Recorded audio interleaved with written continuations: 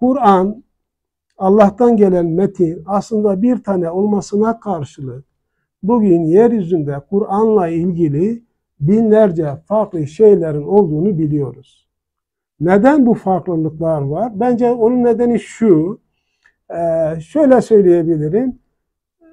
Yeryüzünde Arapçayı en iyi bilen, bakın Arapçayı en iyi bilen 10 tane insan getirsek buraya, e, Arap e, vatandaşı yani ana dili Arapça olan, bilgi düzeyi itibariyle de Arap gramerini dünyada en iyi bilen, e, dolayısıyla Kur'an'ı da en iyi anlaması gereken 10 tane insanı buraya getirsek ve açsak herhangi bir sayfayı onlara okusak ve desek ki şunu anlamını söyleyin desek bu kişilerin aynı şeyi söylemediğini göreceksiniz. Neden?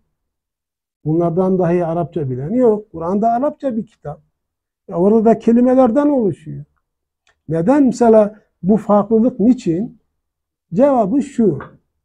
Kim hangi ekole mensupsa, hangi cemaate mensupsa, hangi anlayışa, hangi mezhebe, hangi meşrebe mensupsa, kendi bakışını, kendi düşüncesini, kendi anlayışını Kur'an'a söyletiyor.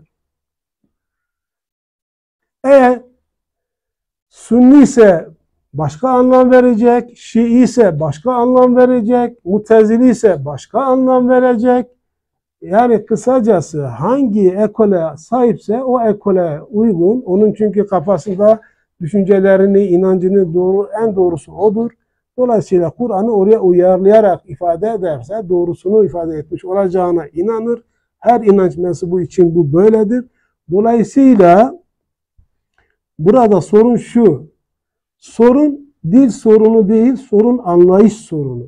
Dört tane unsurdan söz etmiştim ya. Eğer bir insanın Allah telakisi, Nebi telakisi, e, vahiy telakisi ve insan telakisi yani Allah'ı doğru tanımıyorsanız, Nebi ve Resulü doğru tanımlamıyorsanız, vahyin ne olduğunu, vahyin içeriğini, mahiyetini, gönderiliş nedenini ve onun muhatabının sadece biz olduğumuza dair yani bir anlayışla ilgili sorununuz varsa ve yaratılışsal özellikleri fıtrat olarak insanı doğru tanımlamıyorsanız, insan nasıl bir varlıktır? İnsan sadece somut bir varlık mı yoksa sadece soyut bir varlık mı?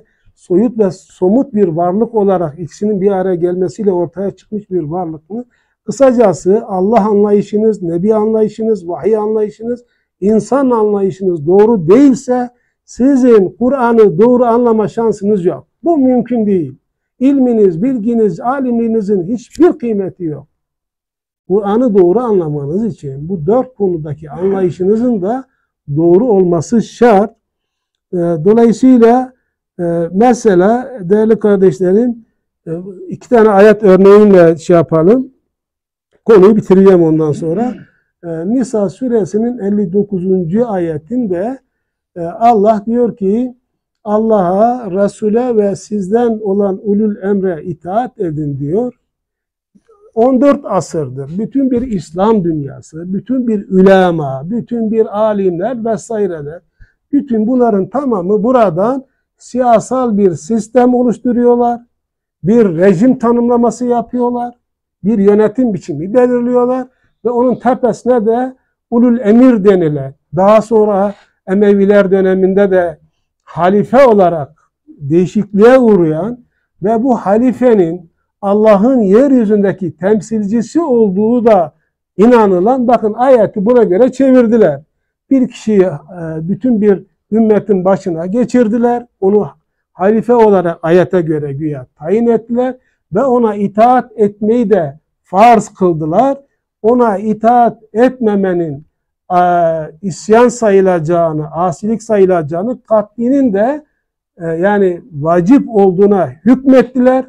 İtiraz eden dolayısıyla halife e, sapkın da olsa, halife e, zalim de olsa, halife, mücrim de olsa hiç fark etmiyor. Ona itaat esastıra getirdiler ve 14 yüzyıldır bu inanan toplumu bu şekliyle e, diktatör, zalim, e, kaba kuvvet kullanan, asi, e, cani, e, sefih hayat yaşayan insanları e, itaate mesela bakın bir ayet işte ele aldılar ve bir anlayışa göre uyarladılar. Ve bunu da işte diyelim ki Bakara suresinin 30. ayetinde Allah insanı yeryüzünde halife olarak yarattığını söylüyor. İnsanın halife olarak yaratıldığını da e, bütün insanlar aslında ayetin kapsamında inansın inanmasın yaratılışlar itibariyle erkek kadın fark etmez. İnsan türü, insan soyu halife olarak yaratılmış. Ne demek? Verilen ona verilen akıl ve özgür iradeyle yaşadığı hayatı düzenleme yeteneğine, bilgisine sahip demek. Yani halifenin aslında anlamı onarmak demek, tanzim etmek demek. Bu bizim hepimizin içinde olduğu bir kavramken yine bunu da aldılar, siyasallaştırdılar.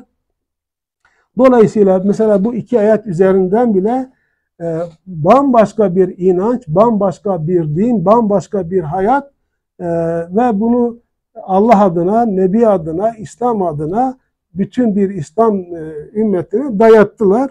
E, niçin? İşte anlayışları doğru değil. Niçin doğru değil? E, zira eğer Kur'an anlayışları doğru olsaydı onu şunu çok rahat göreceklerdi. Rabbimiz bize sabit, tanımlanmış bir devlet önermiyor. Bir hukuk sistemi, bir ekonomik sistem, e, bir yönetim biçimi Kur'an önermiyor. Niçin önermiyor? Çünkü e, değişmeyen tek şey değişimdir. Bugünün ihtiyaçlarıyla dünün ihtiyaçları farklı olur. Bugünün araçlarıyla dünün araçları farklı olur. Dolayısıyla bugünün imkanlarıyla dünün imkanları farklı olur. Yani dolayısıyla şunu söylüyoruz. Rabbimiz nasıl bir yönetim biçimi, nasıl bir ekonomik sistem, nasıl bir hukuk sistemi vesaire olacağı konusunda bütün sorumluluğu, bütün yetkiyi bize verdiği halde birileri Allah'tan rol çalarak, onun adına rol üstlenerek bazı şeyleri tanımlayıp bazı bütün bir insanları da e, oraya bağlı hale getirmeyi din olarak bize dayattılar. Burada şunu ifade etmem lazım, eksik yanlış bilgi olmasın diye. Elbette ki yeryüzünde e, yönetimi de, ekonomiyi de, hukuku da biz belirleyeceğiz. Rabbim bunu bize bıraktı. Fakat burada bizim sorumlu olduğumuz, mükellef tutulduğumuz şey husus şu. Ne yaparsak yapalım, hangi alanda ve hangi şeyi yaparsak yapalım. Yaptığımız her şeyin Kur'an'a uygun olmasını esas almak zorundayız. Böyle bir çerçeve içerisinde bunu tanımlayabiliriz. Evet değerli kardeşlerim,